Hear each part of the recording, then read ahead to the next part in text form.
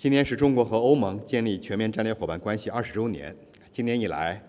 中欧双方领导人互动频密，各领域各层级对话合作全面铺开，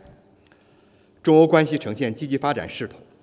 中方欢迎博雷利高级代表访华，并举行新一轮中欧高级别战略对话，这有利于推动中欧关系健康稳定发展，将为下阶段中欧高层交往做好准备。为双方共同应对全球性挑战、维护世界和平稳定注入新动力。当前国际形势动荡不安，全球性挑战层出不穷，